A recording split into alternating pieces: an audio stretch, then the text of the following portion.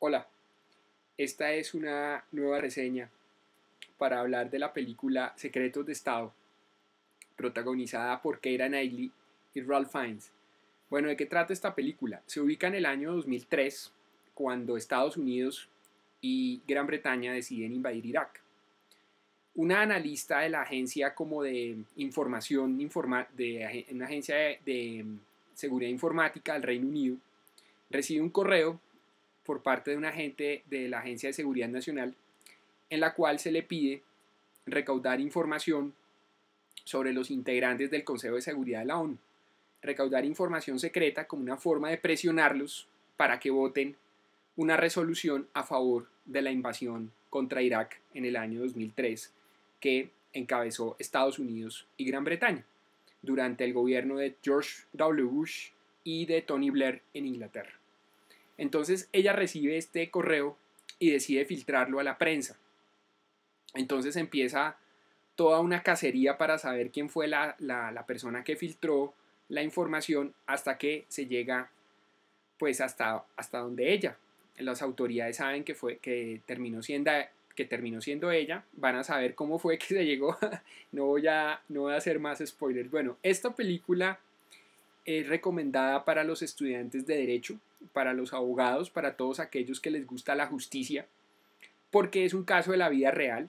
De hecho, eh, está basada en el caso de la agente Gunn, que trabajaba como, para, como una agencia de seguridad informática de inteligencia del gobierno británico.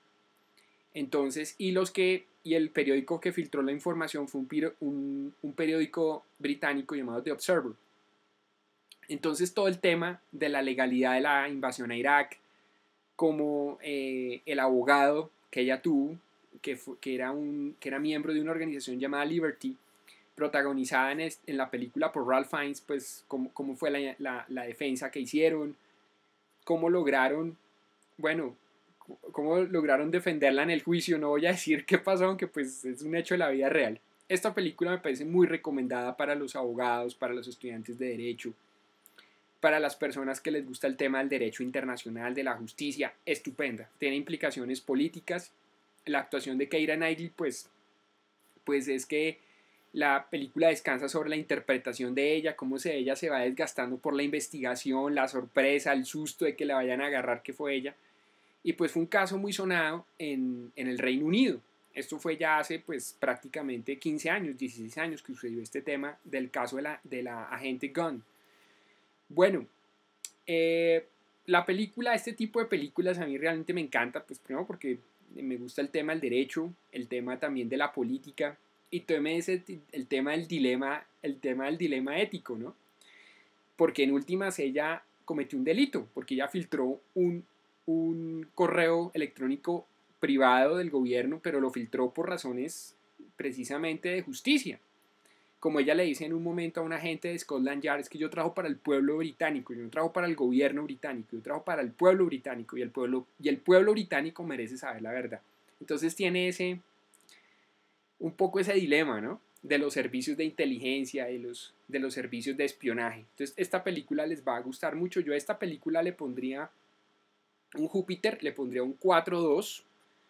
Me gustó este tipo de también por un tema subjetivo, a mí me gusta este tipo de películas basadas en la vida real, el dilema de la justicia, el derecho internacional, pues el dilema pues que ella cometió un delito de verdad, pero que lo cometió precisamente por, por razones justificables y que y pues posteriormente se supo que dentro, al interior del gobierno británico habían objeciones por la participación del Reino Unido en, en la guerra de Irak.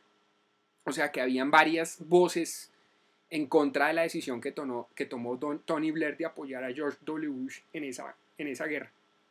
Entonces la película es recomendable, yo le pongo un 4-2, le pongo un Júpiter.